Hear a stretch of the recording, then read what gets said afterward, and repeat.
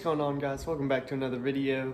Today I'm going to be talking to you about my experience with lean bulking versus dirty bulking. But first, let's go to work.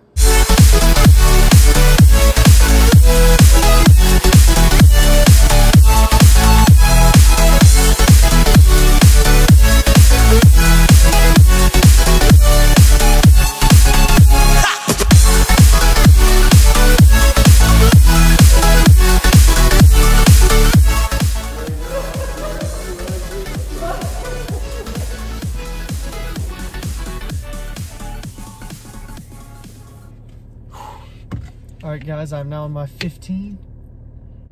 I will be eating these two protein bars right now. It's also 11 o'clock. This is 370 calories, 26 grams of protein. Anyways, where were we? Oh, yes. Lean bulking, what is that? Lean bulking is when you eat in a 200 to 300 calorie surplus and you're eating mostly healthy foods the whole way.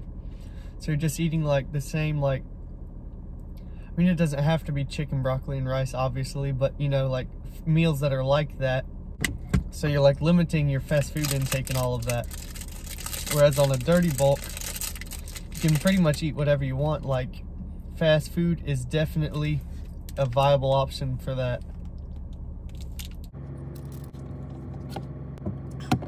When I first started working out, which was about a year ago now, I was dirty bulking and it did not go my way at all. I gained about a pound or two a week over a span of like six months.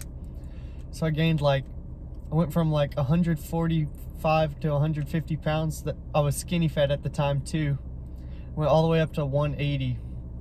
And I'll show a picture of what I looked like. And it was just not a good time. I started working out because I was insecure about my body and gaining all that weight and fat made me it made it even worse. But if you're like truly starting to go to the gym to just get stronger, you don't really care about your looks or anything. I mean, you can dirty bulk if you want, but I feel like most of us truly should just do a nice clean lean bulk because I mean, at the end of the day, you do want to look good. You don't want to put all this work in and just still feel crappy about yourself. And that's what I didn't realize at the time. I didn't know I was I didn't know I was going to end up looking like that, but I did and it was really just a bunch of wasted time and food. Lots of food was eaten during that time. I was eating like 3,800 calories a day by the end of it, and that was a that's a lot of food for me. My, I wish I had a metabolism like Joe Fazer, but it just isn't there quite yet.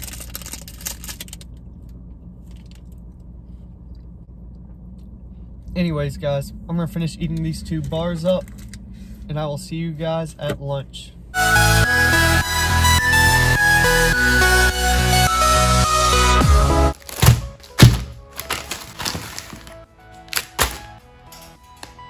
That's right, guys. For lunch, I will be making some chili cheese dogs with a little healthy twist on them. We'll be using these 45 calorie per frank hot dogs. We will also be using some deer chili that my uncle made me with some whole wheat bones, which doesn't make that big of a difference, but you might as well. And some Smart Pop as a chip replacement.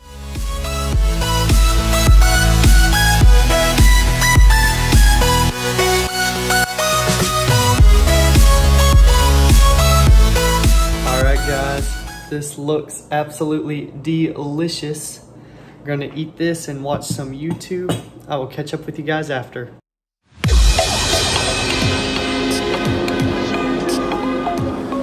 Alright guys, just finished up my lunch, watched some Remington James make some anabolic foods. Now we are watching some CBum. I think I'm gonna start taking some BCAAs. Maybe I'll look like him one day, eh? Anyways, time to head back to work. I will catch up with you guys right after that. I just got off of work.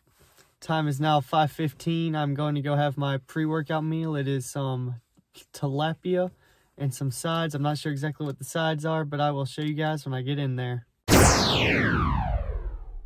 Just finished that meal up. That was some blackened tilapia, some breaded okra, and some long grain wild rice. It was around 500 calories worth of food. It was quite well. Probably gonna eat an orange when I get home, but let's go there right now and get changed for the gym.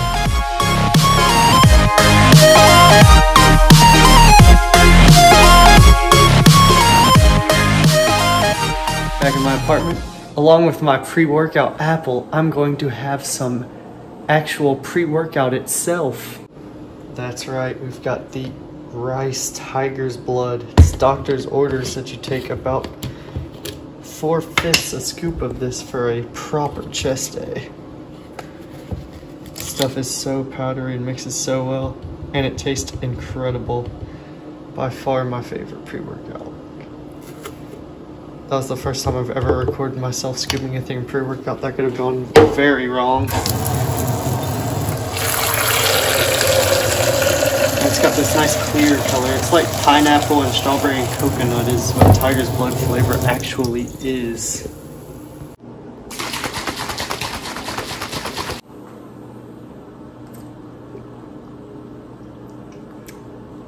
Oh my gosh, that stuff tastes so good every single time. I wish they would make a non-stim version I could just literally just drink because that's how good that stuff is right there. Anyways, I'm going to eat and drink this and I will be right back.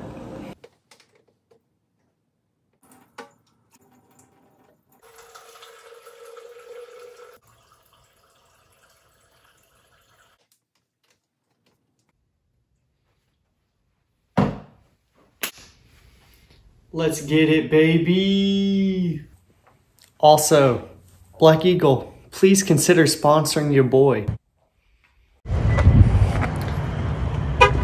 Dang, that was a six transition, Colton. Don't worry, guys. I know. I know.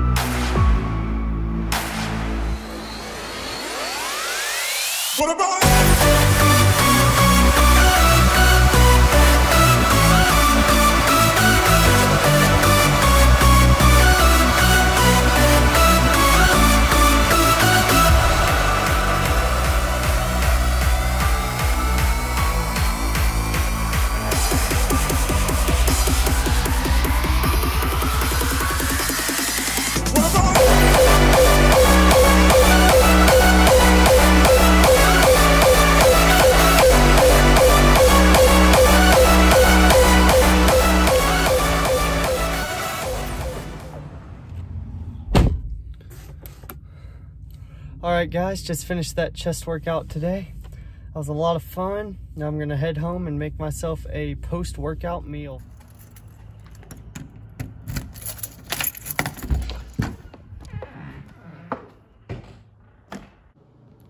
All right, guys, for the post-workout meal, we will be having chicken sandwich, some pop, smart pop, some mixed nuts, and an orange.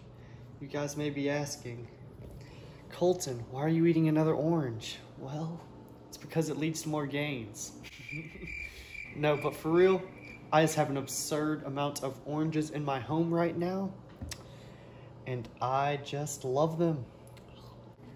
Also, a nice little condiment that I like to mix up is some fat-free ranch. I do about one tablespoon of that, and then I just squirt some of that hot sauce on it, and I just mix it together. It is very good. Let me see if I can show you guys how exactly I do this. By the way, this is how I do all my time lapses. It is you guys are literally sitting on top of a blender. A Ninja blender, by the way. Thank you, Dr. Greg. All right, so I've measured this out before, that's why I'm not gonna measure it out right now. I know about how much 15 grams is. All right, that's 15 grams. And one full serving is two tablespoons of that, and that is 30 calories per serving, so that's 15 calories right there. Hot sauce is very minimal, it just says zero so you can really put as much as this as you would like without it making too much of a difference. I just grabbed the knife that I cut my chicken up with, sort of mix it all in together like so. And it might not be the prettiest looking one, but I promise you guys, this stuff tastes so good. It really makes the chicken sandwich game on a different level. This is like a Chick-fil-A level sauce right here. And then that's the what the final product looks like. Just smush that bad boy right on top. We are good to go. All right, guys, so as I'm eating this post-workout meal, I figured I'd get back to the topic of this video. Should you lean bulk or should you dirty bulk? When I first started the gym, I went straight onto the dirty bulk game and I had a lot of fun with it. I did not see the best results, but it definitely got me long-term invested into bettering my body, which was important. So if you're like never done anything in the gym, I'm just gonna let you know, no, it's not going to make you get bigger, like gain more muscle faster. You will get bigger faster, but it won't be from, it won't be all muscle. You'll gain a lot of fat. But that's not like it's not the end of the world if you get like a little bit bulkier, especially if you were like super skinny like I was when I first started. You realize once you start going to the gym how many people in the world like have a lot of body fat. So it's not like just because you can't see your six pack, it doesn't mean that you're like getting obese or something like that. Like it's not that big of a deal for real. Like if I were to make a suggestion, I'd say to lean bulk and gain around two to three pounds a month maximum but if you wanted to get crazy and dirty bulk and add on four to five pounds a month and you're like 120 or 130 pounds, I mean, just go for it, man. Because like, if it gets you in, going to the gym regularly and caring about what you're doing with your body, like you'll figure it out as you go along. The important thing is just starting. Like, I seriously have no idea, as you guys can probably tell, like what I'm doing with making these YouTube videos, but I'm just like starting and just seeing where it takes me. And to be quite honest, I'm having a lot of fun doing it. The whole process to me is so interesting. Like recording yourself at the gym, trying to get cool angles, like getting to edit the video afterwards and trying to like learn how to Photoshop and make those thumbnails. Like I've never Photoshopped or edited a video in my entire life and I've done now at the time of recording this video. I've edited two videos, made three thumbnails, and I'm gonna edit a third video when I'm done filming this tonight. And it is just so much fun to me. Currently, I am using iMovie to edit on my phone. Otherwise, I would show you guys me editing.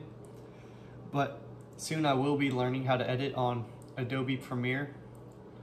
I've got a friend that his, his channel name is Tooterp. He's got a few thousand subscribers. He makes content completely different than mine, but I'll leave a link in the description to his channel if you guys want to go check him out. He's like really good at editing. He says he can help me out some, so hope I hope he can because I just really want to get good at editing because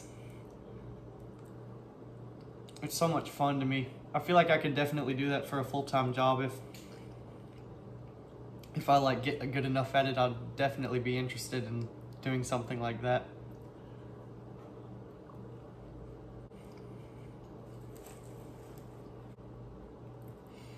Anyways though, I'm sort of getting out off on a tangent. So basically, if you want to see the best results possible, I would suggest lean bulking, eating your, getting your micronutrients good with the fruits and vegetables. That's really helped me feel better. No, it's not going to help you gain or lose weight. It's calories in, calories out. That's how it, that's just how it works. But if you can get your micronutrients in, I truly believe that it just like enhances your life in general. So, but if you go on a dirty bulk is what like, you're just gonna like get fat faster. But like I said before, if it gets you going to the gym and caring about your body, go for it. It's not that big of a deal. But anyways, guys, this is my last meal of the day, like I said. I'll put the calorie totals in the bottom corner somewhere. I will see you guys next time. Peace.